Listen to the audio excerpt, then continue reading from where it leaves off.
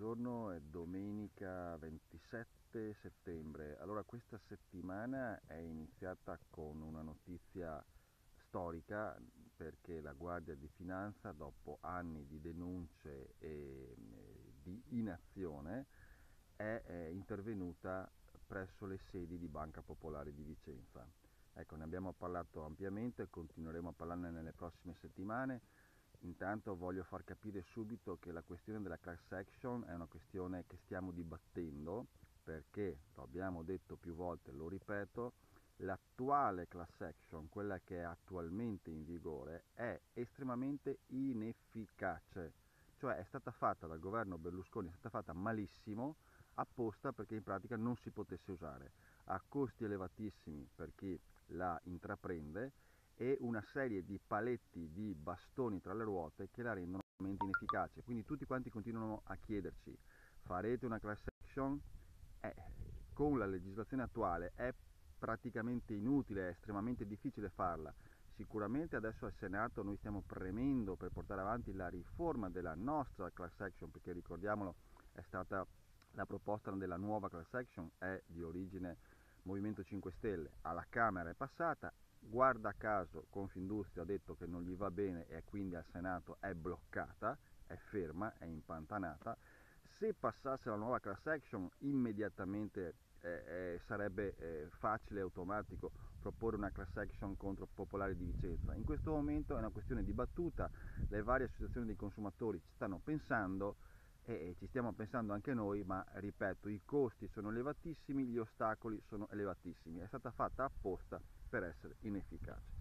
Allora, detto questo sulla Popolare di Vicenza, la settimana scorsa eh, come Commissione Industria abbiamo eh, aperto una nuova eh, procedura per quanto riguarda un meccanismo di eh, potenziamento tra virgolette dei certificati bianchi. Ecco, i certificati bianchi sono una maniera per incentivare l'efficienza energetica perché danno proprio dei soldini ad, aziende private che fanno interventi di efficientamento energetico. Il problema qual è? Il problema è che questa proposta di riforma va nel senso contrario a quello che come movimento vorremmo, cioè a, a implementare, amplificare i lavori sull'efficienza energetica. Questo perché limita le risorse per questi interventi, diminuisce l'entità degli incentivi e anzi rende questa entità addirittura aleatoria. In buona sostanza impedisce i piccoli interventi, i piccoli interventi in campo civile, in campo industriale, eh, anche, anche attraverso le fonti rinnovabili e limitando l'incentivo ad alcuni specifici interventi. E poi il mezzo classico, eh, più subdolo e anche più efficace, eh, complica la burocrazia, complica la predisposizione delle pratiche anche retroattivamente. Quindi ennesima eh, ennesimo intervento a gamba tesa a, a, gioco, diciamo, a, gioco, a gioco attivo, ennesimo intervento eh, retroattivo. Quindi questo intervento che è un, una proposta, ricordiamo, del Ministero, eh, aumenta in buona sostanza i costi energetici per le persone a reddito più basso perché gli impedisce di fare efficienza, scoraggia quindi la, la diminuzione dei consumi e eh, l'incremento della virtuosità e questo eh, risulta come, eh, scusate gioco di parole, come risultato eh, il permanere di elevati consumi di energia che ricordiamolo all'80% si fa ancora con le fonti fossili. Sia ben chiaro, la stragrande maggioranza dell'energia si fa ancora con le fonti fossili, quindi secondo noi l'intervento proprio è propedeutico a far permanere lo status quo attuale con elevati consumi energetici. Naturalmente su questo vi terremo aggiornati nelle prossime settimane. Intanto, se vi ricordate, noi avevamo sollevato dubbi anche sulla proposta di abolizione del mercato tutelato, che vede oggi 9 milioni di, di utenze tutelate appunto da un, da un, ente pubblico che fa diciamo da gruppone d'acquisto pubblico per 9 milioni di italiani. Ecco, c'è anche in questo caso una proposta di abolirlo nel 2018 noi avevamo sollevato assieme a molte associazioni di consumatori forti dubbi su questa proposta, adesso notiamo che anche altri soggetti politici eh, si stanno eh, mh, esprimendo in questo senso. Altra cosa che abbiamo fatto la settimana appena trascorsa, eh, il sottosegretario del Ministero dello Sviluppo Economico è venuto a rispondere a una mia interrogazione sulla riforma della tariffa elettrica. Eh, se vi ricordate ne abbiamo parlato diverse volte, continueremo a parlarne. Questa riforma aumenterà i costi per le fasce basse di, di consumo, per chi consuma poco dal 1 gennaio aumenteranno i costi dell'energia elettrica.